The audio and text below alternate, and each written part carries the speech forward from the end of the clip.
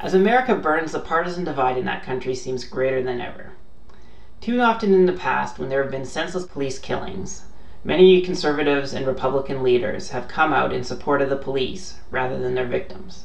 This time, however, it appeared to be different. Many Republicans came out denouncing what had happened to George Floyd and discussing the issue of racism in America.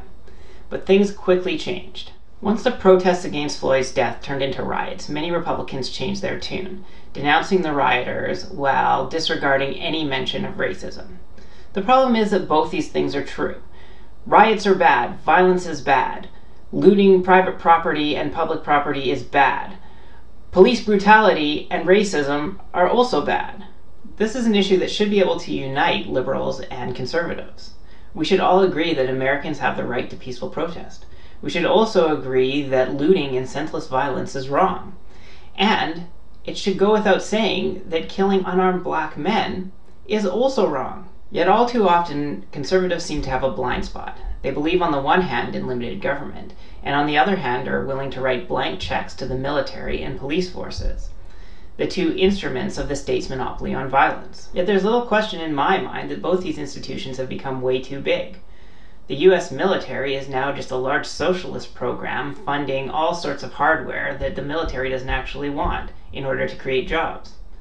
And police forces look more like the army nowadays. We have SWAT teams with military hardware that look more like SEAL Team 6. And all too often, these police forces act as though they're operating above the law.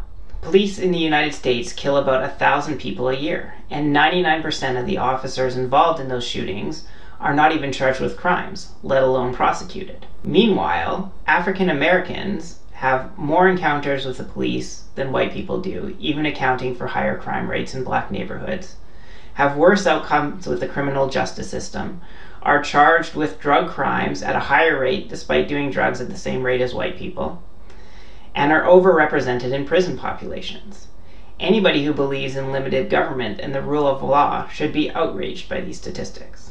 Instead of using the situation to once again divide the country, wouldn't it be great to see people, Republicans and Democrats, come out and use this as an opportunity, this moment of shared hardship in the face of a global pandemic, of shared grief in the face of a senseless killing, to unite the country?